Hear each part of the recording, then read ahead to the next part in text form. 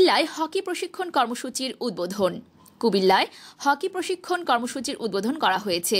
শুক্রবার বিকালে জেলা ক্রীড়া সংস্থার আয়োজনে কুমিল্লা ভাষা সৈনিক শহীদ ধীরেন্দ্রনাথ দত্ত স্টেডিয়ামে বেলুন উড়িয়ে এই প্রশিক্ষণ কর্মসূচির উদ্বোধন করেন প্রধান অতিথি বাংলাদেশ হকি ফেডারেশনের সাধারণ সম্পাদক আব্দুস সাদেক। জেলা প্রশাসক আবুল ফজল মীরের সভাপতিত্বে বিশেষ অতিথির বক্তব্য রাখেন অতিরিক্ত police super Shakhawat Hossain.